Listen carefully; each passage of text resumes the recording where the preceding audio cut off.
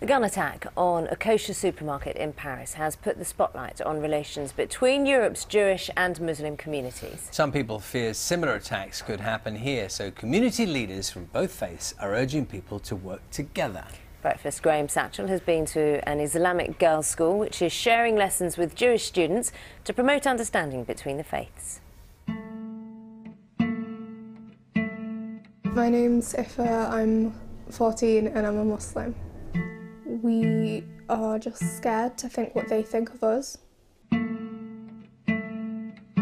My name's Hallie.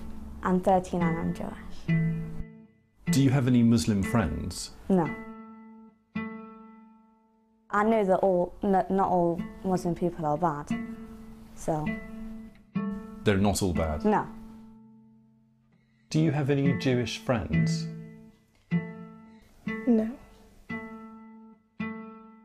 I've never really met someone who's Jewish, so I don't really have an opinion on them. Good morning to everyone. It's fantastic that we're all here together, especially in the current climate where there are difficulties between communities in the world. A group of Jewish teenage girls at an Islamic school. If You just want to jot down on the paper some of the stereotypes and discuss them. They've come together after the attacks in Paris and increased security in some Jewish areas here. What do you think of this person? So we thought that he was probably relig- religious because of his beard. It doesn't mean like just. Busting myths, smashing stereotypes, learning about each other's culture and religion. We believe that there's only one God. We believe that he, create- he created everything and he's not physical. Muslims believe that there is only one God and he is eternal, which is very similar to you guys.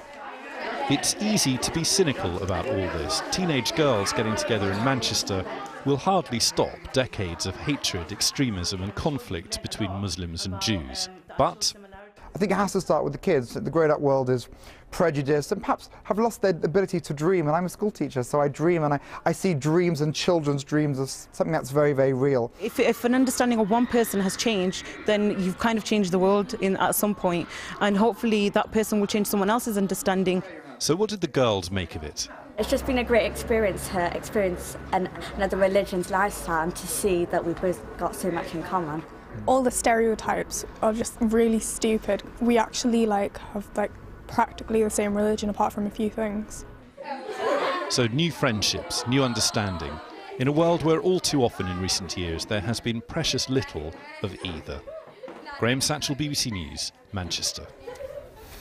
Well, joining us now are Senior Rabbi Laura Janner-Klausner to Reform Judaism and Julie Siddiqi, who's a consultant on interfaith relations. Uh, you're both very welcome here this morning. A lot of people, and I just wonder about your reflections first, watching that film, will be thinking sometimes out of the mouths of young children, and I don't mean that in a patronising way at all, uh, great wisdom comes. And, and there is a sense there that they're saying things that a lot of people think. Uh, in their, how they deal with one another when they actually meet. Can I just get your thoughts on that first? Of course, I think it's true about young people. They say the truth. And I think in interfaith, any interfaith, that's what we need to do. And I think when they say their truths, we really need to listen to them. Yeah, and I, I mean, I think it's brilliant. I think what we just saw there and other work that's happening, particularly with young people or even older people, it's, it's, it's what needs to happen, you know. And once people get together, you know, they will have definitely, the girls, they would have definitely got a sense that actually there's more in common than we ever realised. Um, and, you know, that there's more similarities and differences. And, you know, these things are really, really important. And it can break down things very quickly once you get to know people. And those friendships are, are crucial, I think. When we introduced that piece by Graham Satchell at the school, we um, started by talking about the Charlie Hebdo attacks, the gun Mhm. attacks in Paris, and the idea that those attacks have highlighted and perhaps almost inflamed tension between the Jewish and the Muslim communities. And I know you both have worked together for quite a few years now on interfaith relations. Do you think that's true? Have tensions heightened since the attacks?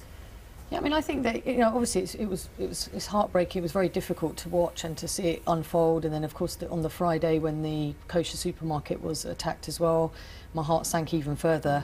Um, and but you know very quickly the, the messages the phone calls between people like us and other friends um, were what really lifted me and really kept me going and if, so but of course it is difficult and these things will make an impact um, I think what's important is that we don't allow that to divide us further because actually that's what the kind of people that do these things that's exactly what they want to happen. So happen have you had to work more together, do you think, or the, are the communities having to make it more effort to work together? I think we will need to work together more, and I think we need to shift our focus.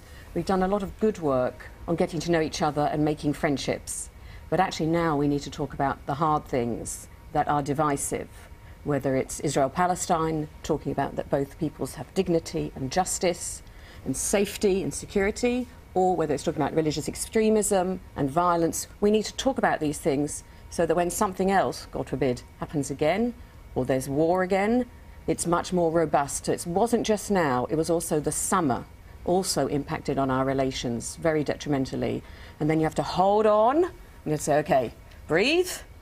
Now we're going to talk about those difficult things. Uh, can I ask you, you we uh, mentioned right at the beginning how these young people are able to see the similarities, uh, and that, that is the thing that matters most, what they have in common.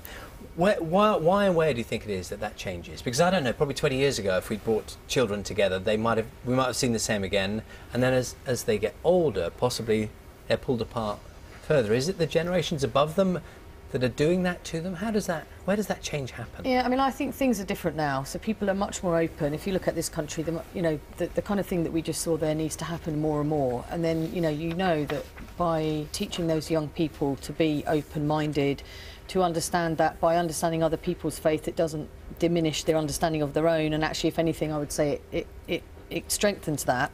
Um, those young people are in a very good place, in a place that really, for people even 20 years ago, weren't in, I think. It was much more polarised.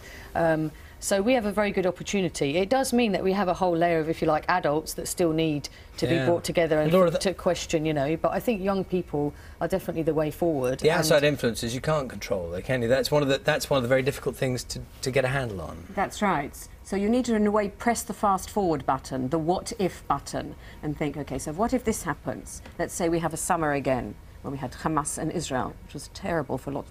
Terrible. What happens again? What happens again if we have a God forbid here? If the terrorist alert has gone up. So you do need to think it forward. And for children in faith schools, you have to have a sort of complementary curriculum in addition to their own, where they go out of their zone into another zone. I apologise, our time is up this morning, but thank you both very Thank much for your you. time Thank this morning.